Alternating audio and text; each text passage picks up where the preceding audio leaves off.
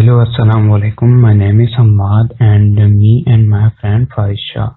Today we will give an overview of the topic inverted index. So basically inverted index is just a type of data structure which is used to find the number of terms which occurred you know in the given document or like uh, your text file. Uh, so it is basically a dictionary of terms which we store to retrieve data or retrieve a document. Uh, now there is a list for each terms which holds the record for it. So it is also called a posting. Uh, now I will tell you the inverted index, how the inverted index works. So let's take an example of these two given documents. The inverted index, uh, so you know that the inverted index extracts the data in the form of dictionary so the result is like this. We have the term on one side and the appearance on the other side. Document ID is the document number and the frequency is basically a number of times that the particular word occur in the document.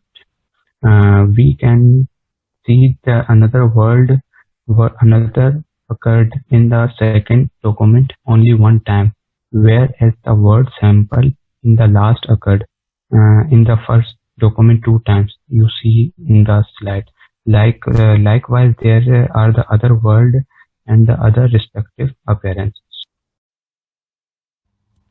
Hello, my name is Farisha and I will tell you further about this topic. Here is the basic mechanism you have to keep in mind while creating inverted index. Number one is the case. All the words are considered in lower case. Here is an example of this. Number two is the stop words. Stop words are the words which are neglected. They are usually the preposition, articles and the useless words. And number three is the stemming, in which all the plural are reduced to singulars. Example. So here's the algorithm of the inverted index. As my friend Ahmad told you that in inverted index we keep a dictionary of terms. So what the procedure does is basically we have assigned an empty dictionary. The program will start from reading the first word of the document and read the given document line by line. It adds the useful terms and the occurrence of the terms which is the frequency into the dictionary and it also mentions the document number which is a document ID. Now we move on to the advantages and disadvantages of inverted index. First of all the advantages. Inverted index is very fast and quick in searching. It performs full search of the text in no time. As we know, it is not time consuming in creating inverted index. It is very easy in creation. Last but not the least, the speed of reading the large file. It is very good in processing speed. Let's have a look on the only disadvantage we have.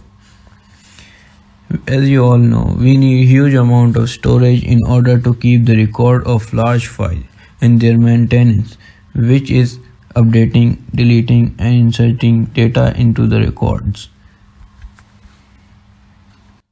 Here are the applications of inverted index. Inverted index plays a vital role in working of the search engine.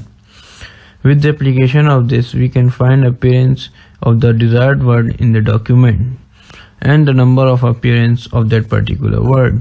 In bioinformatics, it is the key part of the sequence assembly. The matching of DNA requires the construction of inverted index from the reference of DNA sequence. That's all from the presentation video.